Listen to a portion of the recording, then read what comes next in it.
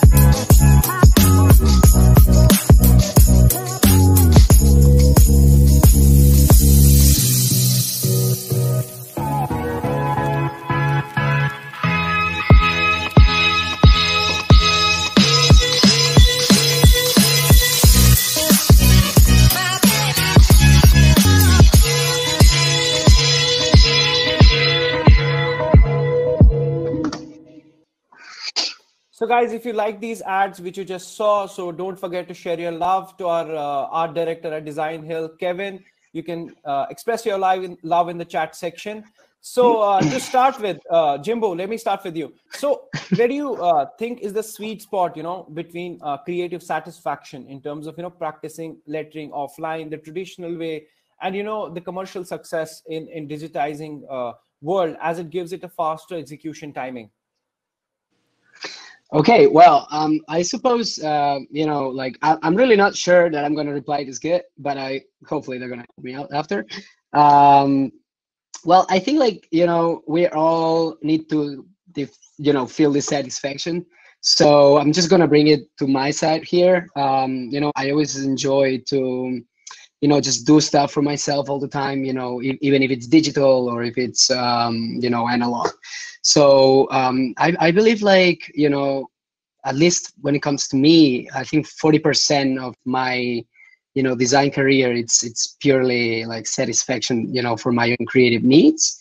And, and then this kind of translate translates perfectly into my work because you know when i like if i create something new for myself every day that kind of helps me you know bring my career to the next level that's that's that's pretty much what i understood this question was about but i'm really not sure so Okay, you know, you pretty much answered a part of it. Let me take it to Chris. Chris, what is your opinion about it? I mean, doing the art digital way and uh, you know going back old school and creating it offline. So, how has uh, digitalization helped taking art uh, across the globe? So, um, for me, I don't, um, I don't think there's much of a, a difference be- for, for the way I work. The difference between traditional and analog um, I, I, sort of see them as just tools, whether it's um, doing it by hand with some like paint or markers versus doing it digitally. Um, I work mostly digital now, but it's more of a convenience thing because it's so much easier to do revisions or like work quickly or generate lots of ideas uh, in a fast way. Definitely for client work, it's much better for doing, um, you know, edits or stuff like that. Um, but even when I do personal work, I tend to work digitally now just because it's so convenient and easy. I can just grab my iPad and draw on it. Um, but I don't really think too much in terms of digital versus traditional because I'm sort of doing the same thing either way. I just, to me, it's about the drawing. And I think the digital has come so far now that there's not that big of a disconnect, at least in, in my opinion. Hmm? Okay, that's that sounds great. So Hayley, do you agree with Chris, or you have something more to add to it? I saw you nodding out there. I think there's things I could add to both. So with the first question that you talked about, as far as like monetizing it goes, digital art really has given artists a great way to monetize things that you otherwise couldn't. Right? By creating a design digitally, you can resell that a whole bunch of times. You can license it. You can you can really do a lot with the digital design. And on the flip side, though, sometimes a traditional design um, like something maybe you paint by hand can also have more of a monetary value because you can't reproduce it so much. So there are good and bads with both, but I think definitely digital artwork you can monetize it in a way that you really couldn't before with traditional mediums. Um, so that was something I was thinking of. But I think too, Chris is right. Like I've had friends before that that say like, "Oh, if I can just get an iPad, I'll be so much better at lettering, you know, and that's true. Like, you know, if you can't do it on paper, you're probably not going to be able to do it digitally because they really are the same. Okay, that sounds great. So, uh, over to you, Chris. Now, you know, uh, in today's uh, digital world, every artist puts his work out there, and a lot of freelance platforms, you know, where you can showcase your portfolios and stuff. You know, how difficult uh, do you find is to you know protect your work from uh, getting copied plagiarized? And how do really uh, the brands cope up with uh, having to know that you know this cop- work is not plagiarized and copied from some different artists? So how do you see it from both the perspectives? From an artist per- perspective who really uh, creates a unique stuff and then it, it gets picked up uh, by somebody else in the name of inspiration maybe? And and, and the security issues from the brands and where you know you, it cannot audit all the artwork that is out there and cannot know that this design is let's say copied or uh, in the name of taking inspiration it's it's you know uh, completely copied uh, from it. Well i think um, this definitely is something that i've dealt with a lot. Uh, my work tends to, has gotten stolen a lot and and um, used. I think it's a result of just um, quantity. I've been doing a daily drawing project and posting online since 2007. So there's just a ton mm-hmm. of work out there. So um, it used to bother me more. And I don't know, I've gotten to this point where I'm sort of okay, not okay, but like, there's not really anything I can do about it because even if I like watermarked it or something like that, if someone wants to steal it, they steal it. A lot of these places are sophisticated and they'll just reproduce it and get rid of it. Um, so I'm not going to like compromise the visual quality of my work just to kind of protect it. Because if someone's going to steal it, they're going to steal it. And other people are like, oh, well, you know, why don't you try and sue? But like almost every single time it happens, it's like, you know, another country or something like that, or like some online shop. So there's not really anything I can do. Um, so I just, you know, try not to think about it. It's it's all in a funny way. It's sort of like a, you know, when it happens, if you like post about it, you know, people are always just like, oh, I can't believe that happened, and then you like, people talk about it, and then it's almost like I don't know. It's almost like a positive thing because people are like, you know, nice about it and, you know, saying, oh, it's so awful that they're doing that. And then it's just like starts a conversation about it. Um, but in terms of you're asking about other brands, how they're making sure that it's not that it is original or like in terms of uh, what do you mean by that? Uh, I mean to say, you know, when brands source uh, quality designs, I mean, uh, there, there's a very uh, reserved resources that they have in terms of auditing it that whether it's an original work or that particular designer or an agency has copied it from somewhere else i know with nearly all of my client work usually in the contract it's has to specify that i say that the work is original so okay. um, i mean it would be breaking a copy or uh, breaking the contract in those cases if i was like using someone else's work or something like that um, okay. But maybe it's the places that are thinking. I know um, there's been situations where someone's using my artwork and then I ask them and they're like, oh, we just found it online. We thought it was fine. So okay. I think there's a, a, slippery slope for sure there.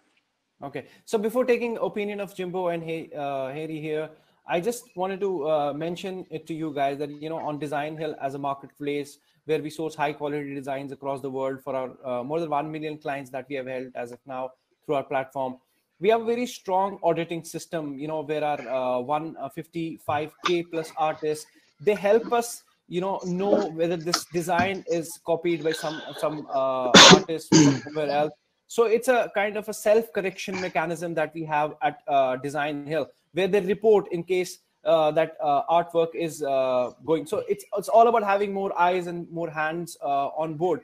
And uh, moreover you know our community team also take care of the auditing stuff and making sure that you know the client gets the original work. And we do also have the contracts in place with the artists and designers who uh, you know we sign it before uh, assigning them any work from the client that this is going to be an original work.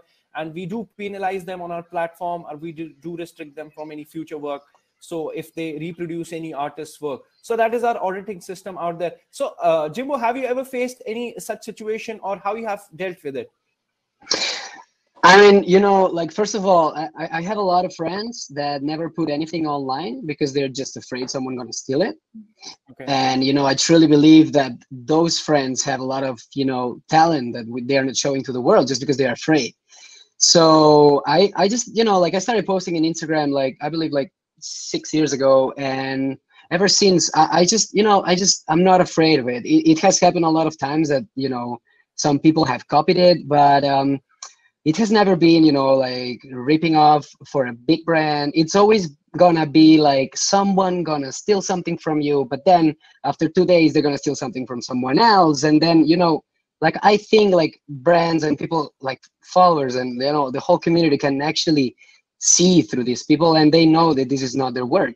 So basically like what i'm trying to do here is just like you know trying to make my you know having my own style and reaching as many people as uh, as possible you know and then they always gonna know that i did that you know so so yeah i i'm really not afraid of like you know copycats. And on the other hand like uh, you know like a few years ago like i was like really hating you know hating everyone who was doing that. And i decided just you know to to step down and just i'm okay. Like if you want to copy copy you won't get anywhere you know. So i, I kind of like i have a mixed feeling now that i i kind of pity someone who actually steals something from someone. And then on the other hand like i decided to just feel good about it you know like the more people that copy you that means that you're good. So i mean it's like a blurry line i believe. But but yeah that, that's that's my thing. Just like put it out there and don't be afraid. And and that's that's pretty much it. Okay great. So hayley before uh, i take your your opinion on this so, uh, do you agree with uh, Jimbo here? I mean, where do you see the trade-off between you know going out there and reaching out to the maximum people through social media and your digital platforms, or should someone you know reserve uh, his uh, art showing out there in the world so that his work stay protected? So, how do you see it balancing out there? Uh, which, which point would you uh, go ahead with if you have to choose between the two? So I think you definitely need to put your work out there, right? Like if a tree falls in the woods and no one hears it, did it make a sound? Like if an artist makes work and doesn't show it, it doesn't matter, right? I think it's really important as artists to show our work, but I think too it's important to educate your followers about copyright and about the problems with copying because a lot of people do it with with bad intentions to make money, but a lot Yeah. of people have no idea that they're even doing anything wrong.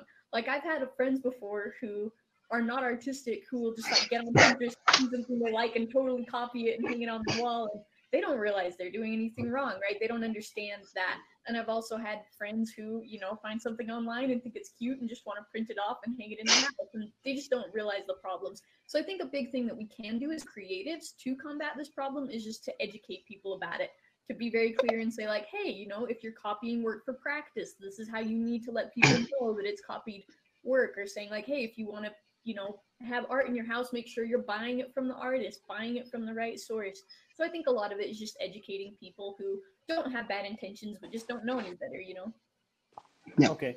So uh, this one is to you, Hayley. So uh, you know, uh, how should an upcoming artist start? Should he go uh, traditional or should he start with the digital first?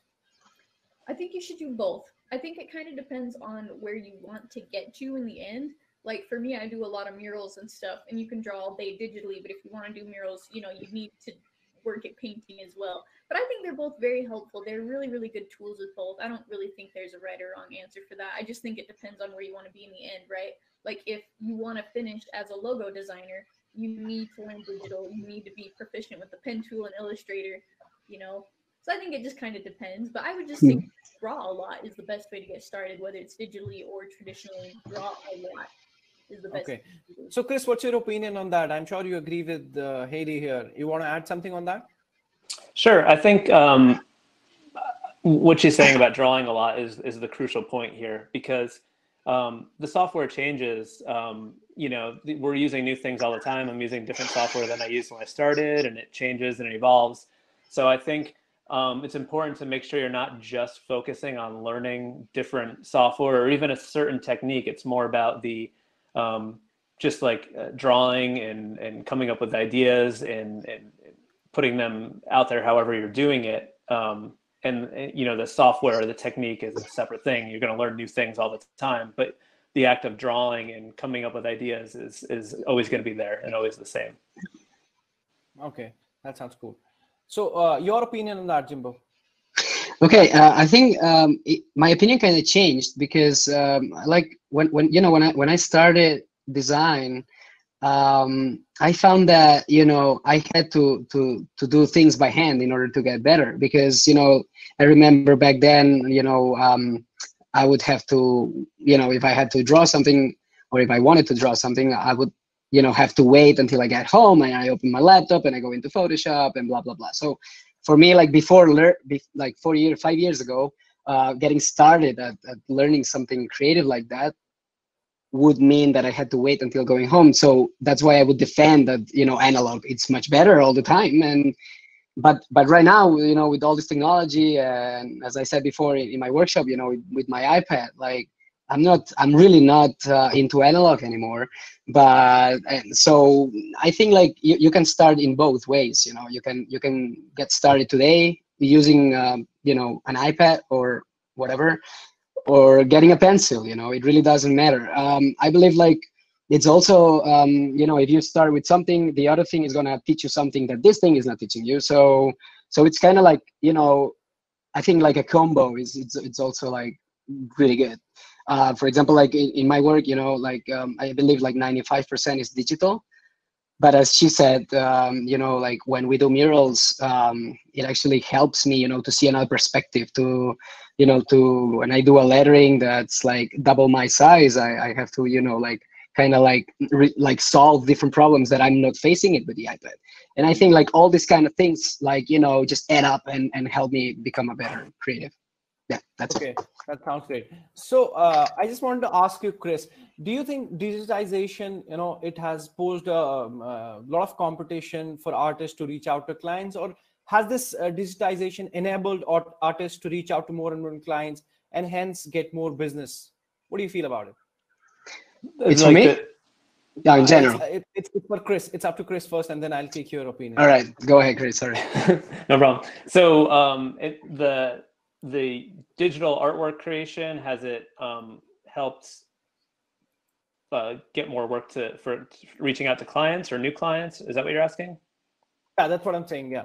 Oh, okay. Yeah, I mean, obviously, because you can, um, you know, as a freelancer, I work from home and I hardly ever see any of my clients. So, um, because of the digital aspect of work, I can create um, stuff for clients all over the world, and um, that that's obviously a, a, game changer and totally uh, makes my career the way it is. So it's uh, you know, it's it's huge. It's it's the sort of the basis of my whole career.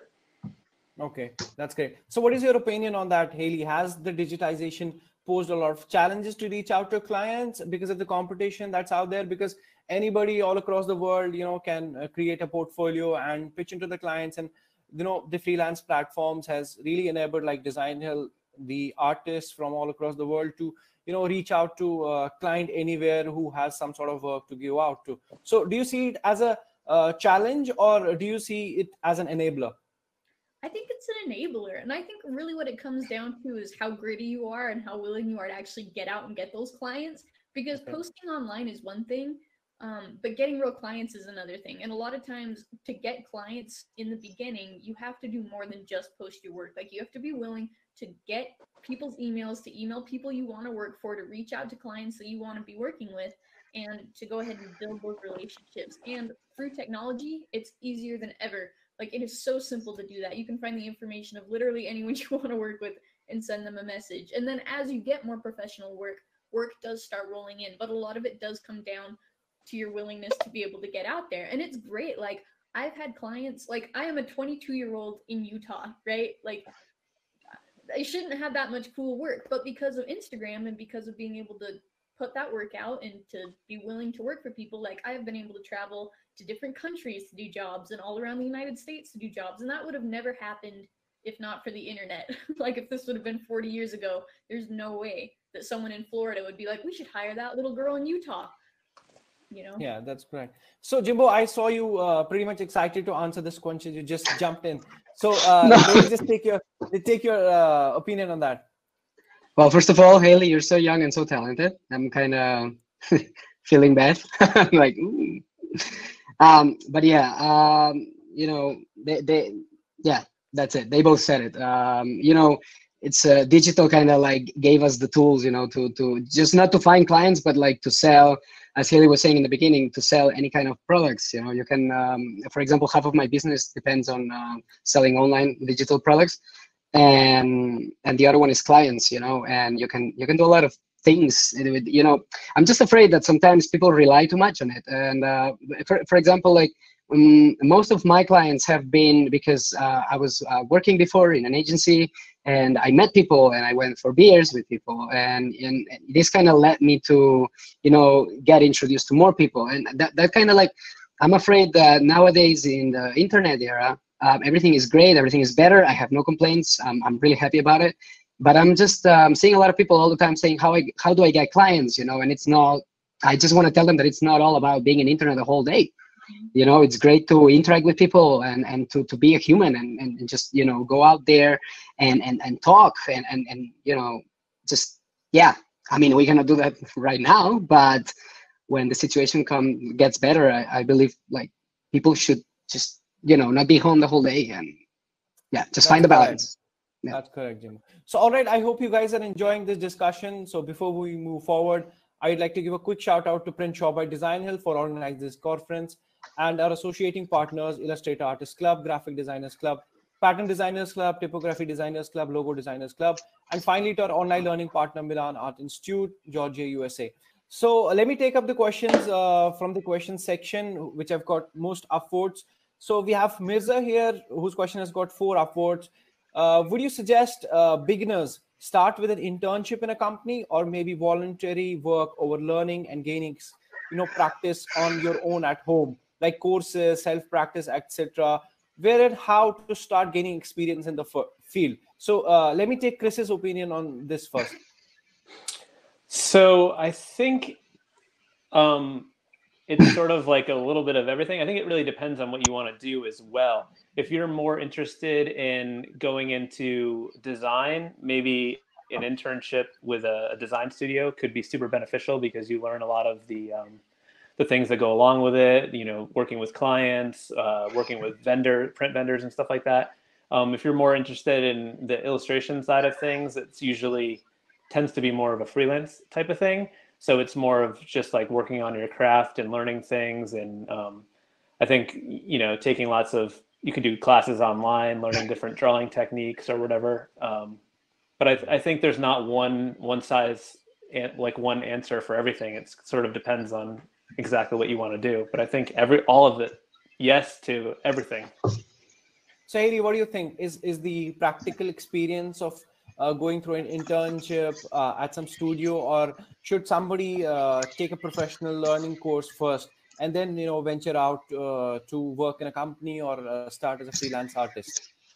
So I would say a lot of both. I think doing an internship is super duper helpful. Like no matter what you're going into. For me, I did an internship at an advertising agency doing just design work, and even though I didn't do any lettering there, I learned so much about like working with printers and working with clients and things like that that are super beneficial across the board.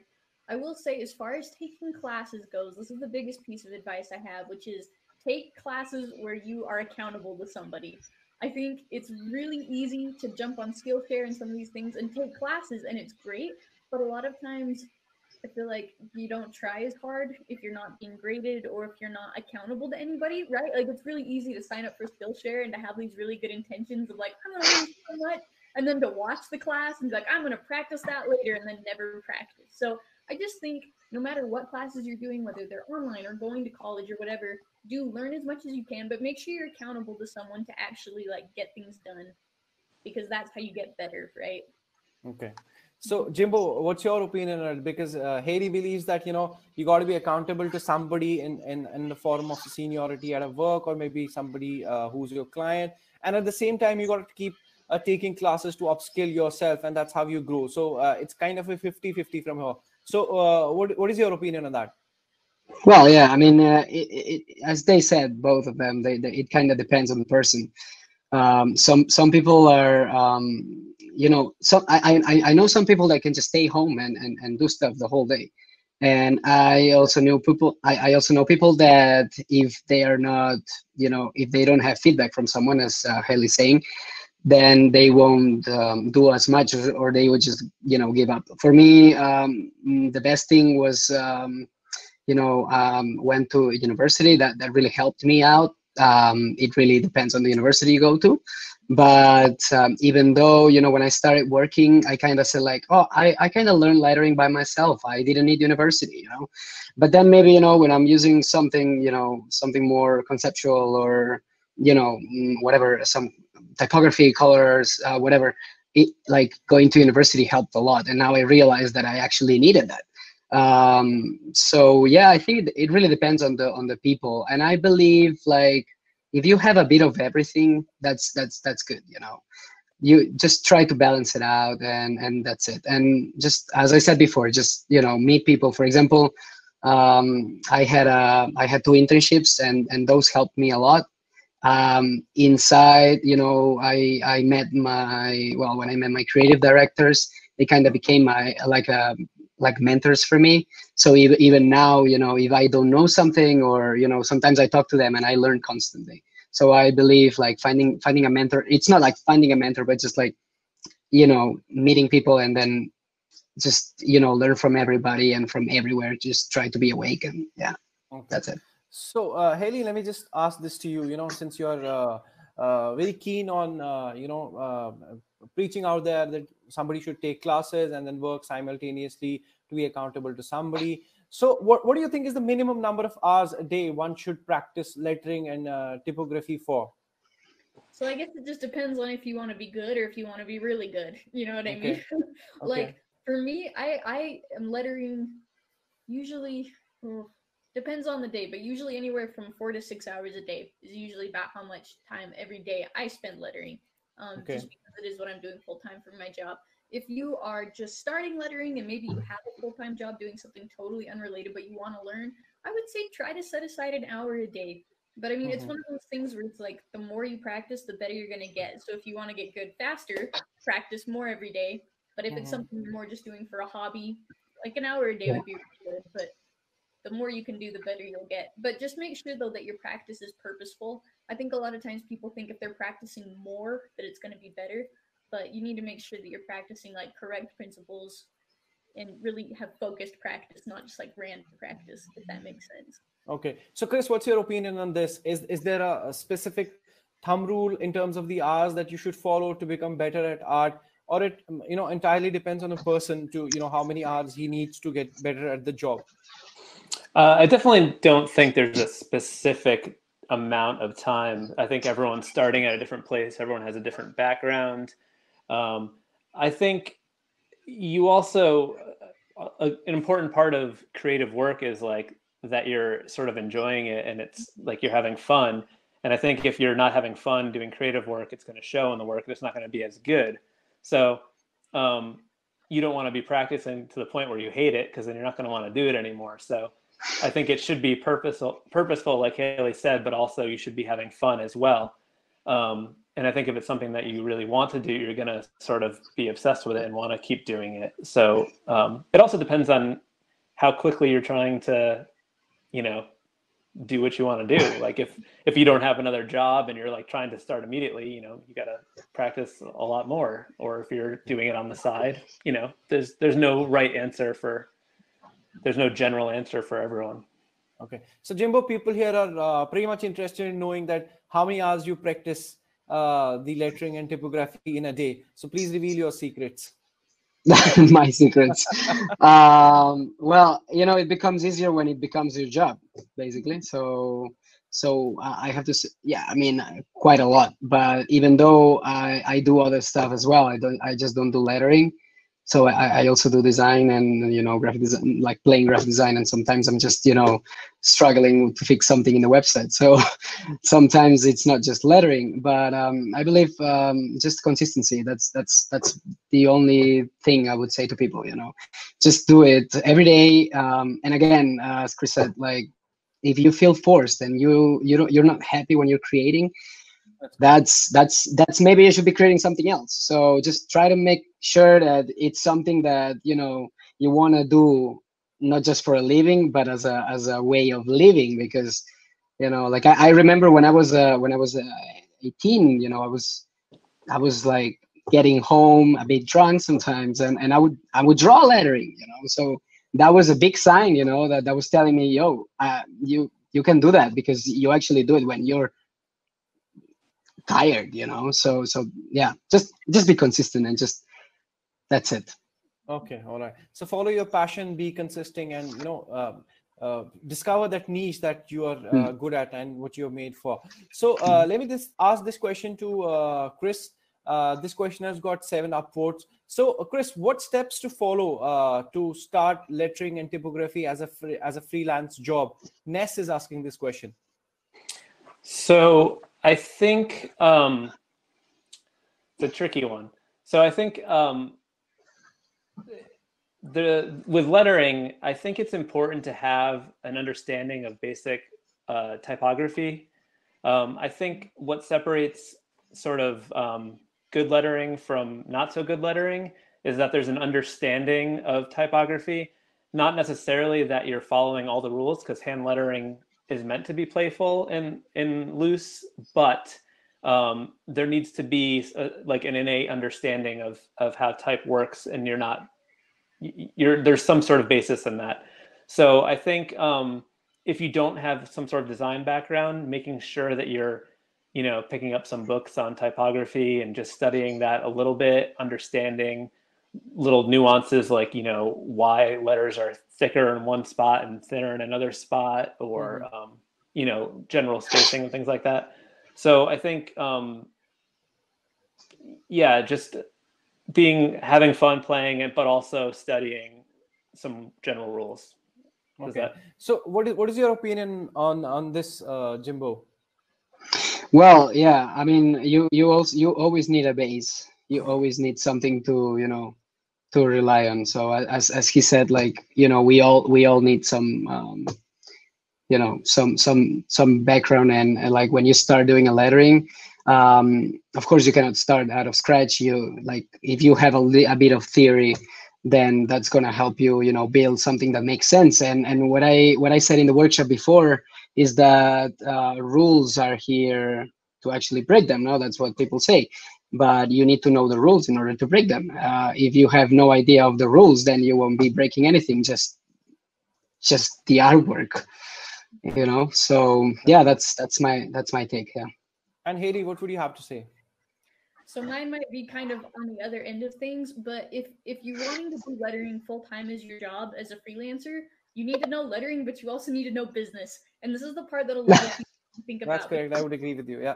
Yeah, if you want to be a freelancer, like you need to understand how taxes work. You need to understand how to find clients. You need to un- understand how to market yourself. You need to make sure that you have savings so that if you don't have work for a little bit, like right now, a lot of people aren't working, right, because of this coronavirus thing. Like you need to make sure you right. are financially secure enough that you can quit your job and go freelance. And so I think yes, you need to learn lettering, but also if, if you want to do this as a freelancer, you need to understand all the other stuff that goes into it as well.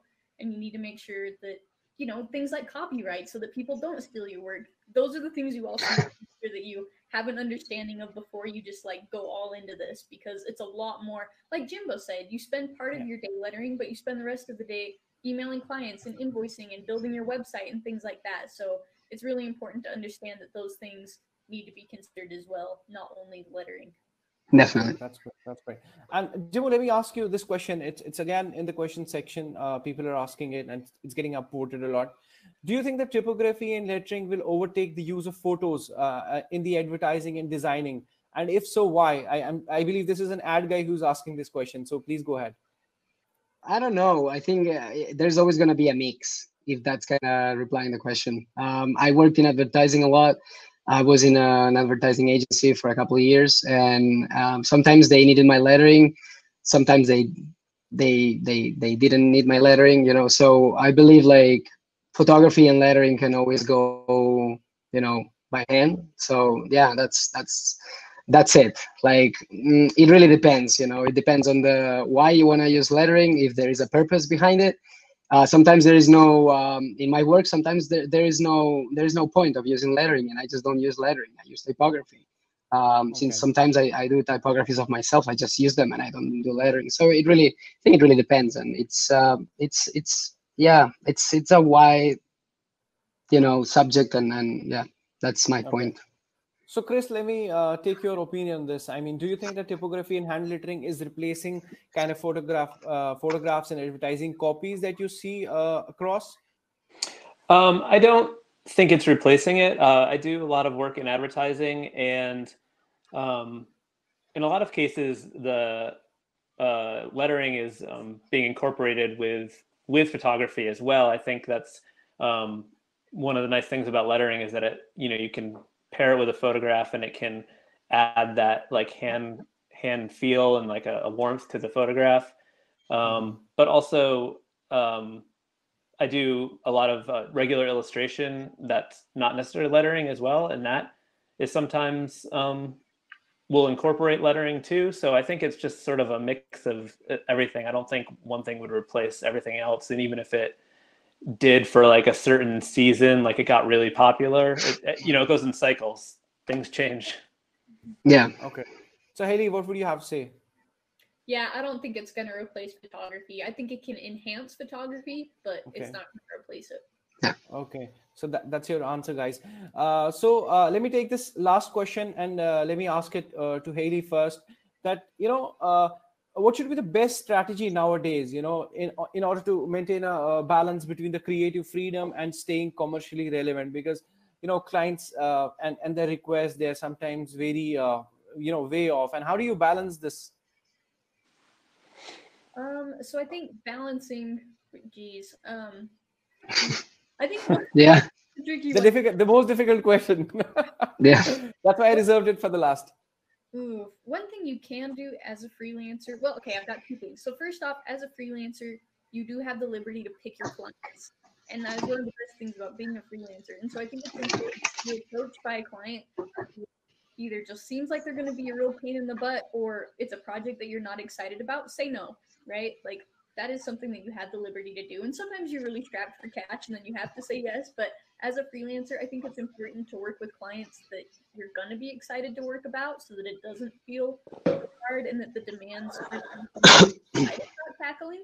And then the other side of that is I think it's always important to have personal projects that you're working on on the side that aren't for clients. And that will kind of keep your soul in a happy place and keep you excited about working. You know, even if you're working on a project at the moment that isn't really your favorite, it's not something you're super excited about.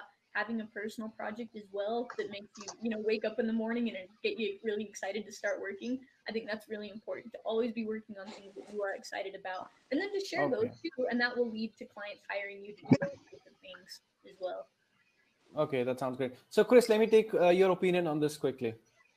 Yeah. So, for me personally, I, have been doing this daily drawing project for like 12 years now, and um, it's just become a part of my routine in my day. So I'm always like posting a new drawing, and that has sort of um, led me to. It, sort of directs my my the work that I get because I get hired for the work that I put out there. So it's allowed me to sort of um, kind of let my work evolve as I'm going, and um, it it's like I, I, can experiment with new things and then slowly change things and try things. so that gives me the creative freedom to kind of do what I want to do, but it also informs my work so that the work I'm getting hired for also feels like that same creative freedom, even though it's specifically for a client.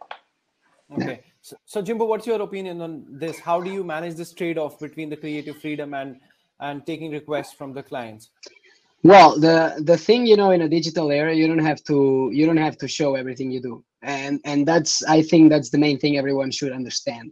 Um, if you if you have an Instagram and it's just uh, for lettering as I do or they do they do have it, um, even if you are starting.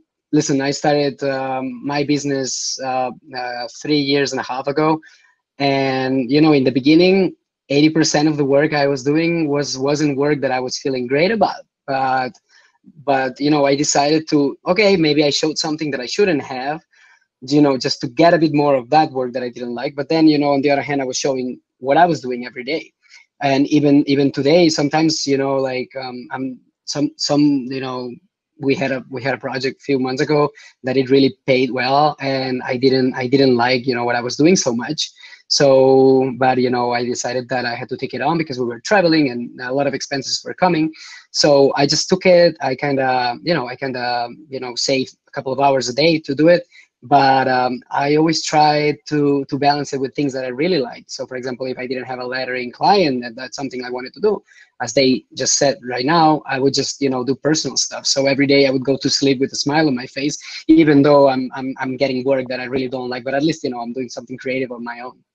So yeah, that's okay. it. So okay. So all right, guys, this brings us us to the end of this power pack panel discussion with our wonderful artists, uh, Jimbo, Hayley, and Chris, where we touched upon a lot of topics and issues that the artists face on a daily basis. Although there's a lot more that we could we could have discussed today, but unfortunately we are limited by time here.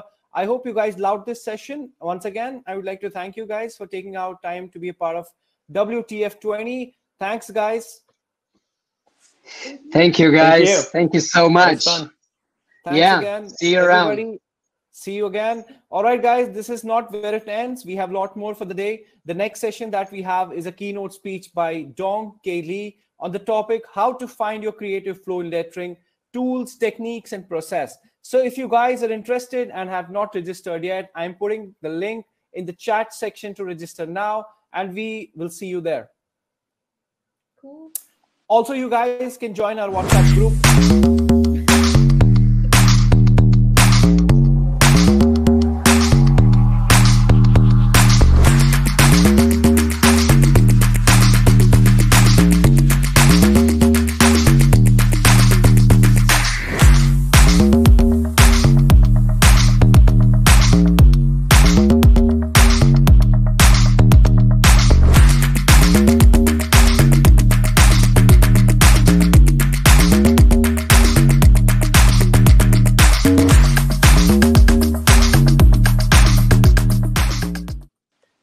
Can also join our whatsapp group the link uh, has been uh, given below in the chat section and uh, a lot of people are asking us where they can uh, watch this uh, conference live end to end and this session specifically so guys i'm putting in the Designhill official youtube channel link in this section below so you can watch it there you can watch the entire conference and this section everyone there. So, bye everyone. Maintain physical distancing and take care of yourselves, take care of your families and your community all around.